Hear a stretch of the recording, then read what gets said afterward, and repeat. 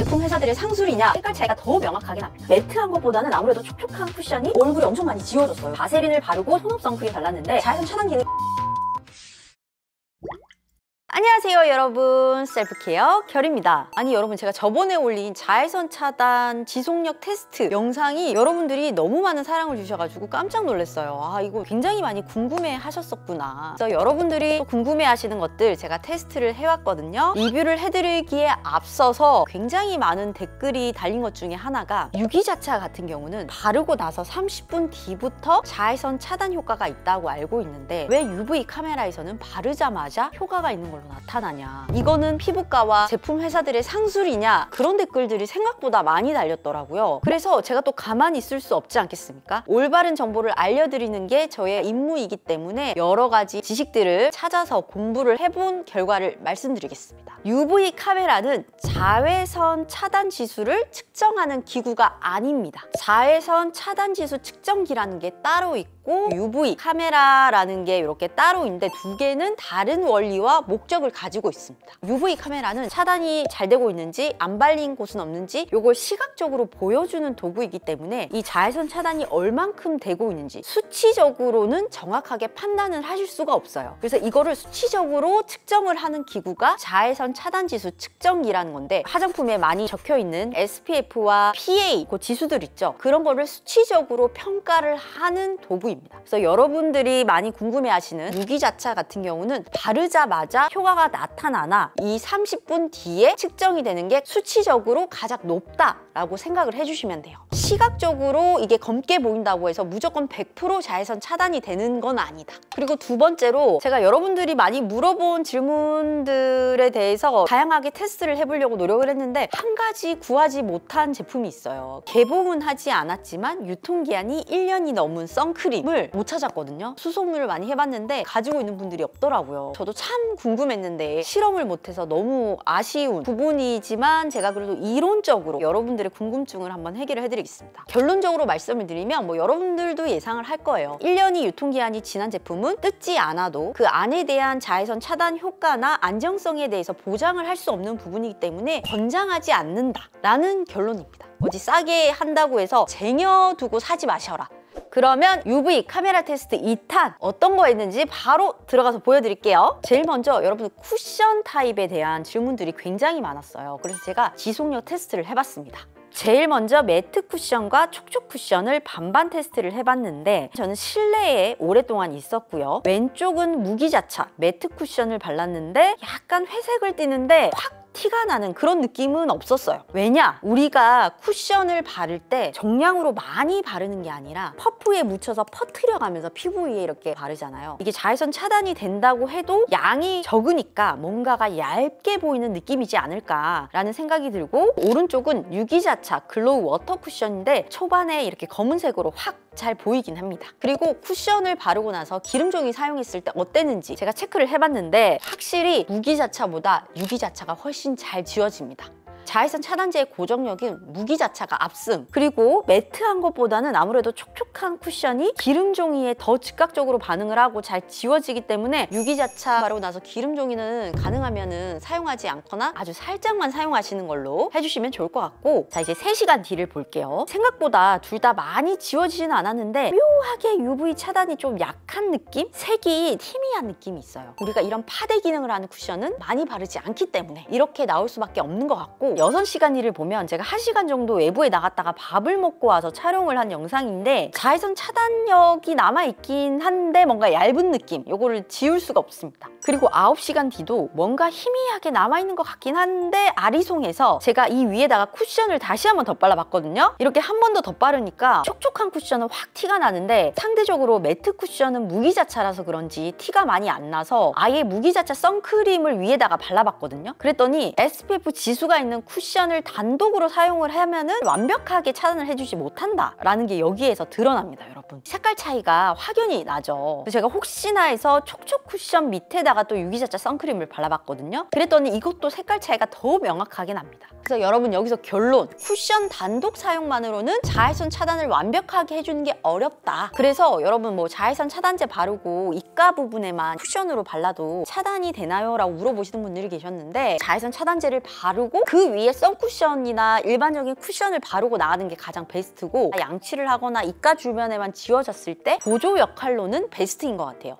그리고 다음은 일반적인 쿠션이 아니라 선 쿠션을 제가 무기자차와 유기자차별로 비교를 해봤습니다. 한쪽은 무기자차 선 쿠션을 발랐고 나머지는 유기자차 선 쿠션을 발랐는데 확실히 선 쿠션이 일반적인 쿠션보다는 UV 차단 컬러가 진하고 확실합니다. 아무리 SPF 지수가 있는 쿠션이라고 해도 선 쿠션에 비해서는 자외선 차단력이 좀 떨어지는 것 같아요. 꼼꼼히 덧바르고 layering 할수록 컬러가 조금씩 조금씩 진해지는 게 느껴지더라고요. 그래서 일단 썬쿠션 바르고 3시간 뒤에 한번 비교를 해봤더니 전반적으로는 괜찮습니다. 그러나 이것도 얇다라는 느낌을 배제할 수가 없고요. 6시간 뒤에 제가 1시간 정도 외출하고 밥 먹고 와서 양치를 하고 나서 찍었는데 입 주변으로 많이 지워졌어요. 그리고 9시간 뒤를 봤더니 확실히 굉장히 많이 얼룩덜룩하고 지워진 모습을 볼 수 있어서 쿠션 종류와 스틱류는 수시로 들고 다니면서 덧발라야 한다. 쿠션을 사용한다라고 했을 때는 일반 쿠션보다는 선 쿠션을 사용하는 게 자외선 차단에 좀 더 효과적이다. 다음은 피부 보호 효과 때문에 바세린 바르고 나서 그 위에 자외선 차단을 바르시는 귤님들이 계시더라고요. 이랬을 때 지속력이 얼마나 되냐라는 또 댓글이 있어서 제가 요거 테스트를 해봤습니다. 바세린 이때 바를 때 여러분 진짜 진짜 소량 발라야 돼요. 콩알의 4분의 1 떠서 피부 체온으로 녹인다는 느낌으로 얼굴 전체에 퍼트리면서 감싸주시면 됩니다. 바세린을 바르고 저는 그 위에 톤업 선크림 발랐는데 일단 발림성은 나쁘지 않고 바세린 위에 바른다고 해서 UV 카메라로 봤을 때 뭐 차단력이 떨어지거나 뭐 잘 안 발린다던가 그러지는 않더라고요. 일단 3시간 뒤에 봤을 때 나쁘지 않죠. 그리고 6시간 뒤를 봤을 때 조금씩 지워지는 게 눈에 이제 보이죠. 그리고 9시간 뒤 제가 이때는 밖에 나가서 크림 블러셔 테스트를 한다고 얼굴에 찍어 바르고 와서 본 건데 이 볼 부분이 확실히 많이 지워졌어요. 크림 블러셔가 유분 함유량이 많잖아요. 그래서 그 부분으로 엄청 많이 지워지고 전체적으로 많이 지워지기도 했습니다. 여러분 제가 이번 테스트를 통해서 확실히 안 게 있어요. 피부가 너무 촉촉하거나 너무 번들거려도 지속력이 오래가지 못한다라는 부분을 좀 염두해 주시고 바세린이라는 성분이 피부 수분 증발을 막아주면서 피부를 좀 보호해주는 역할을 하잖아요. 그래서 바세린을 바르고 그 위에 자외선 차단제를 발랐을 때 아무래도 자외선 차단력에 대해서 조금 저해가 될 수 있다. 만약에 나는 너무 건성 피부야. 그리고 자외선 차단제에 대한 알러지 반응이나 민감하게 반응을 한다 하시는 분들은 가을 겨울에 정말 바세린을 소량 발라주시고 그 위에 선크림을 덧발라주시는 거 그렇게 추천을 드리고 무조건 바르고 나서 중간에 한 번은 더 선쿠션이나 차단제를 발라주시는 게 자외선 차단에 훨씬 도움이 된다라는 점 명심해 주시기 바래요. 자 다음은 선크림을 퍼프로 바르는 것과 손으로 발랐을 때의 지속력에 대해서 테스트를 해봤습니다. 확실히 퍼프로 바른 부분이 손으로 바른 부분보다 뭔가 미묘하게 옅은 느낌이 있고 똑같은 양을 발랐어도 퍼프가 아무래도 제품을 먹겠죠. 그리고 퍼프로 바른 부위는 손에 묻지 않지만 손으로 바른 부위는 손바닥에 묻은 거를 볼 수가 있어요. 퍼프가 먹든 손이 먹든 둘 중에 뭐가 더 먹냐 요거의 차이인 것 같아요. 그리고 3시간 뒤를 봤을 때 처음에 발랐을 때와 큰 차이는 없는데 쿠션 바른 쪽이 아무래도 조금 더 미묘하게 옅은 부분이 있고 6시간 뒤에 봤더니 손으로 바른 부위보다 퍼프로 바른 부위가 조금 더 얼룩덜룩하게 쥐어진 모습을 보실 수 있습니다. 어이구 여러분 여러분 제가 순간이동을 했습니다. 스튜디오에서 촬영을 다 끝마치지 못하고 저희가 대여한 시간이 끝이 나서 부득이하게 급하게 사무실로 와서 연장 촬영을 하기 때문에 지속해서 말씀드리도록 하겠습니다.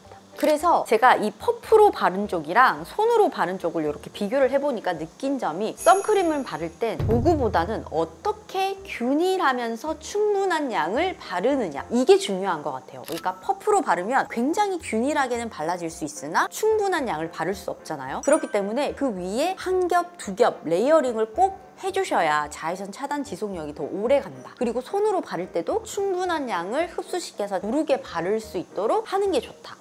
지금 이제 조금 지루할 타이밍이잖아요. 그래서 호기심 천국 그것이 알고 싶다. 제가 이전 영상에서 8년 된 무기자차 선크림을 UV 카메라를 통해서 테스트를 해봤는데 별님 그러면 동일한 선크림으로 8년 된 거랑 새 제품 UV 카메라로 테스트해봤을 때 컬러 차이가 얼마나 나는지를 보고 싶다 라고 해서 제가 이거 바로 실험을 해봤습니다. 일단 8년 된 선크림을 발랐을 때는 보시는 것처럼 전혀 선크림의 효과를 볼 수가 없죠. 근데 의외로 민중기 무기자차 선크림 선크림을 새로 샀잖아요. 그걸 발랐는데도 8년 된 선크림보다는 색깔이 더 확실히 보이긴 하나 연하더라고요. 그래서 제가 어? 뭐지 싶어서 타사 제품의 무기 자차를 그 위에 덧발라 봤는데 확실히 색깔이 더 진해요. 어 이거는 또 무슨 현상인가? 제가 예상치 못한 결과치가 나와서 혹시나 이 부분에 대해서 아시는 분 있으시면 은 네, 댓글로 남겨주시면 감사하겠습니다.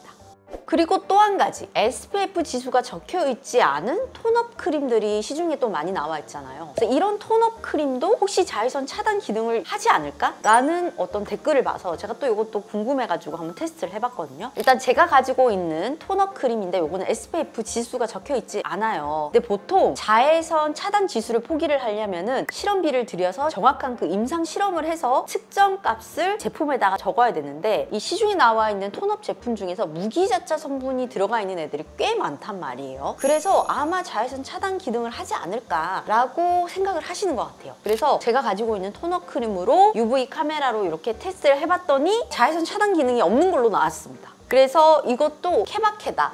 어. 토너 크림이라고 해서 다 자외선 차단 기능이 있지 않다라는 걸로 이렇게 판명이 났습니다.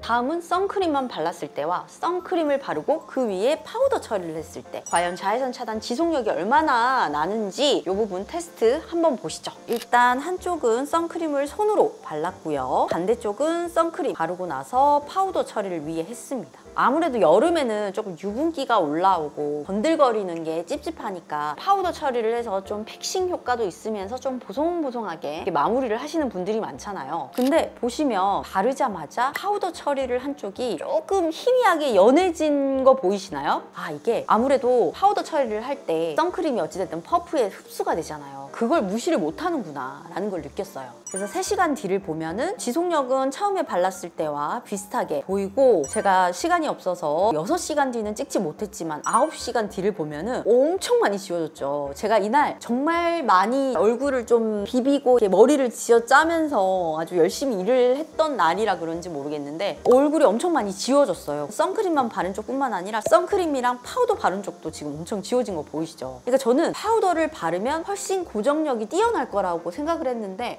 그렇지만도 않네? 라는 거를 이 UV 카메라를 통해서 볼 수 있었습니다. 이번 실험을 통한 결론. 선크림을 바르고 그 위에 파우더를 발라도 되지만 너무 세게 문지르거나 강하게 밀착시키면 오히려 선크림이 지워진다. 그래서 아주 톡톡톡톡 그 위에 얹어주는 게 좋다. 그리고 파우더 처리를 한다고 해서 자외선 차단에 대한 지속력이 높은 건 아니다. 그래서 제가 지금은 일반 파우더를 위에 발랐거든요. 9시간 지나고 나서 선 파우더를 위에 발라봤어요. 근데 웃긴 게 이게 파우더가 물리적으로 자외선을 이렇게 튕겨내는 방식이라 그런지 UV 카메라를 통해서 봤을 때는 컬러의 변화는 없습니다. 오히려 더 하얗게 보이더라고요. 아무튼 그래서 자외선 차단이 되는 건가 라는 약간 의심은 했지만 어쨌든 여러분 여기서 명심해야 될 게 UV 카메라는 수치적인 측정은 불가능하고 시각적으로 확인을 하는 도구기 때문에 때문에 정확하지 않을 수 있다라는 것만 염두에 두고 한번 봐주시면 좋을 것 같아요. 제가 이렇게 테스트를 하면서 확실하게 체감을 하니까 조금 더 자신 있게 여러분들에게 말씀을 드릴 수 있더라고요. 일단 첫 번째로 제가 느낀 점은 선 쿠션이나 일반 쿠션에 들어가 있는 SPF 지수를 너무 믿지 말라. 쿠션만 바르고 나가서는 자외선 차단이 제대로 되지 않는다라는 걸 이번 실험을 통해서 알았어요. 그리고 두 번째는 자외선 차단제를 바르고 위에 파우더 처리를 하거나 선 파우더를 바른다고 해서 고정력이나 지속력이 높아지지 않는다. 그리고 피부가 너무 번들거리거나 너무 촉촉한 거 위에 선크림을 바를 경우에는 지속력이 절대 오래가지 않는다. 스킨케어 단계에서도 크림이나 에센스 같은 거가 충분히 다 흡수가 되고 나서 그 위에 자외선 차단제를 발라주시고 잘 흡수되도록 퍼프나 손을 이용해서 잘 펴발라 주시는 게 좋고 퍼프를 이용할 경우에는 layering해서 발라주셔야 겹겹이 쌓이면서 자외선 차단이 더 잘 된다. 그리고 또 한 가지 여러분들이 가장 의문을 가지고 있는 거 UV 카메라는 자외선 차단 지수를 측정하는 측정기가 아니기 때문에 시각적으로 자외선 차단이 되는지 안 되는지를 확인해 주는 도구다 라고 생각을 해주시면 될 것 같습니다. 자 어떻게 여러분들 궁금증이 좀 풀리셨나요? 이번 영상도 여러분의 가려운 부분을 제가 좀 시원하게 긁어드릴 수 있었던 영상이면 좋을 것 같고 혹시나 또 이 영상에 담기지 못한 자외선 차단제에 대해서 궁금한 점들 UV 카메라로 보고 싶은 것들 한번 달아주시면 분량이 좀 된다 한다면 제가 또 3탄으로 테스트를 해서 들고 와 보도록 하겠습니다. 저는 언제나 여러분들의 건강한 self-care life를 응원하면서 지금까지 셀프케어 결이었습니다. 자 이제 선크림을 퍼프로 바른 거와 너무 웃기다. 갑자기 순간적으로. 아까 거기서 하다가 여기 나니까 너무 웃긴다